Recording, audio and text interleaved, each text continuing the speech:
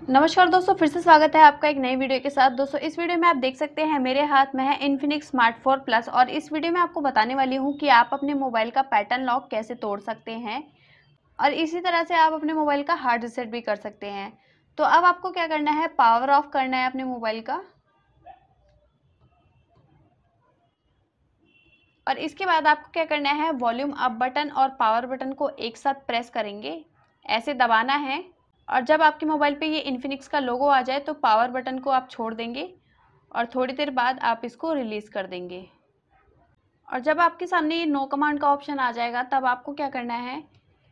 ऐसे volume up button और power button को एक बार प्रेस करना है।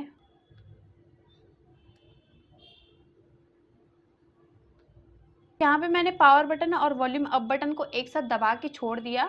तो यहाँ पे इस टाइप का ऑप्शन आ जाएगा आपके सामने। कभी कभी क्या होता है कि पावर ऑफ़ होने के बाद ऑन हो जाता है दोबारा से। तो यहाँ पे आपको क्या करना है, दोबारा से वही प्रोसेस ट्राई करना है।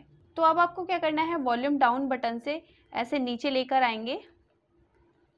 तो यहाँ पे आपको वाइप डेटा फैक्ट्री रीसेट पे क्लिक करना है और पावर बटन से मैं सेलेक्ट कर लूँगी। और इसके बाद नीचे लेके आऊँगी वॉल्यूम डाउन बटन से। पावर बटन से सेलेक्ट करना है। और इस टाइप का इंटरफेस आने के बाद आपको क्या करना है? रिबूट सिस्टम नाव पे क्लिक कर देना है और पावर बटन से सेलेक्ट कर लेंगे इसे।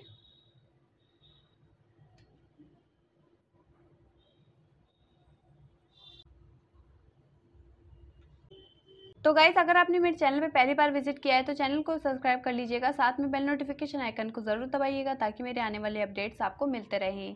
तो यहाँ पे आपका मोबाइल स्टार्ट होने में चार से पाँच मिनट का वक्त लग सकता है।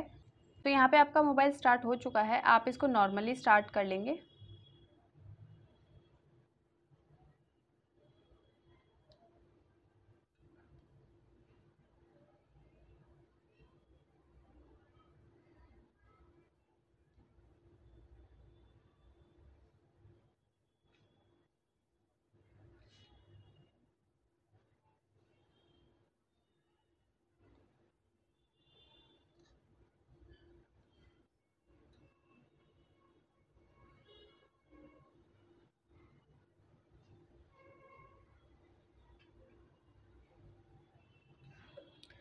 तो आप यहाँ पे देख सकते हैं, आपसे कोई भी पैटर्न पासवर्ड नहीं मांगा गया है और आपका मोबाइल स्टार्ट हो गया है तो इस टाइप से आप अपने मोबाइल का पैटर्न लॉक तोड़ सकते हैं।